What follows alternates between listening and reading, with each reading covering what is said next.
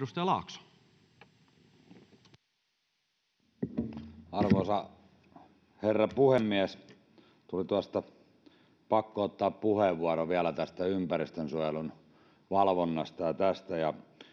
Haluan tuoda huoleni esiin siinä, että tässä monta kertaa saattaa olla niin, että ajatellaan asiaa, että tämä on hyvä juttu, että tehdään riittävän paljon tähän valvontaan ynnä muuhun ja tiukennetaan näitä juttuja, mutta omalla alallani olen äärettömän paljon huomannut sen, että liian kova valvonta ja liian hankalaksi tehdyt asiat tekevät paljon hallaa tälle jutulle, koska tulee yrittäjiä, jotka eivät sitten tee näitä toimenpiteitä eivätkä tee näitä ilmoituksia.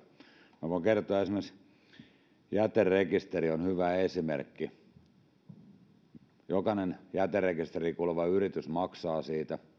Tänä päivänä en vielä ole 15 vuotta, kun se jäterekisteri on varmaan ollut pystyssä, niin kukaan ei ole pystynyt minulle kertomaan, mitä sillä jäterekisterillä tehdään. Ei ainakaan ne ihmiset, jotka siihen yhteyshenkilöksi on laitettu näissä tapauksissa, kun niitä kirjeitä ja maksulappuja sinne. Ongelma on pitkälti siinä, että monella alalla on se, että on häilyvää se raja siinä, tarvitaanko esimerkiksi ympäristölupaa hakea tai vastaavaa. Ja nyt tulee olemaan sitä ongelmaa paljon, ettei haeta niitä ympäristölupia sen takia, koska se steppi on sen jälkeen, että siellä on äärettömän kovat vaatimukset niihin asioihin ja siinä ympäristön valvonnassa ei välttämättä nähdä kokonaisuutta eikä joustoa. Ja aika usein on helpompi sitten olla tällaisten pienen yrittäjien vähän kimpuissa kuin isompien yrittäjien, joilla on sitten näyttää olevinaan osaamista siihen, vaikka totuudessaan sitten helposti ei näin ole. Se vaan on usein nähty, että kaikki pitää saada paperille hienosti.